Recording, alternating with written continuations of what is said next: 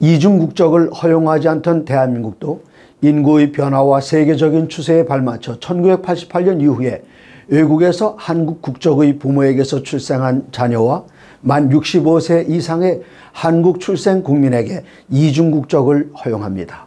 이중 국적인들은 자신이 소속되어 있는 나라에 충성을 다해야 합니다.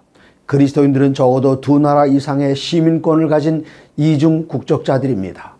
누가복음 20장 25절입니다.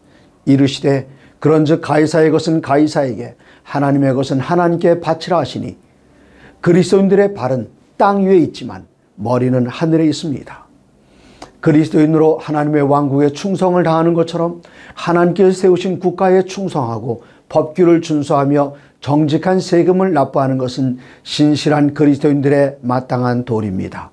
하나님의 모든 말씀으로 사시기 바랍니다.